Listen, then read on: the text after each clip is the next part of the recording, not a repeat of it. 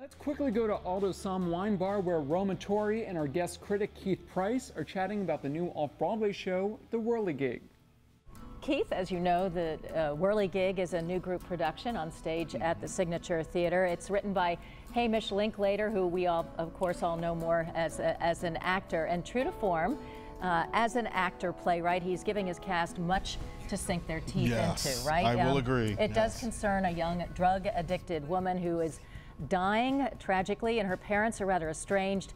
And moving back and forth in time on a rotating stage, we encounter uh, this young woman's friends. She's 23 years old, her friends, and uh, assorted enablers.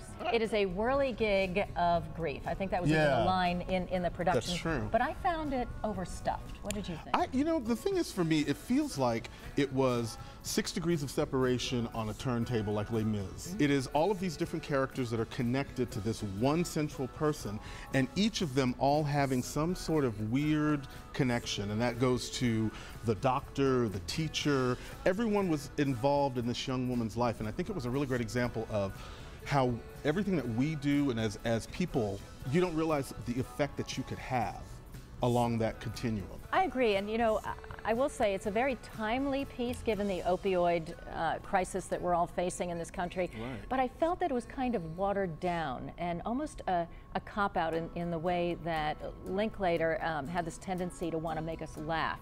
It's a very serious subject, but he, he, he didn't seem to take it all that seriously at times. Well, you know, but the thing is, there's like, how much of it can you cover? The idea of addiction and, you know, mother's issues and mental health issues, because Right. that was also a part of the conversation, and how all of that affects someone who's trying to raise a child. Right. I was moved by that particular aspect of the piece, but like you said, it was a little overstuffed, and at the same time, it didn't really answer a lot of really big questions that it actually proposed at the beginning. At the center of the story, Grace Van Patten, this young 23 year old who's dying, and then it goes back and forth in time, replaying her story and, and letting us see how she ended up this way. And Zosia Mamet was terrific. You know, I, it's a kind of a different character from Girls. Oh. From Girls, of But course. um, she really nails it, and that was my favorite scene in the play. And then a good old Norbert Leo Butz. Any chance that you can have him on the stage is worth it. I just feel that TV and film are taking him away from us, and any chance we can have him is always a great time. Yeah, yeah, yeah. He is. He's always, Always special great. to watch. Keith Price, thanks very much. Thank you, Roma.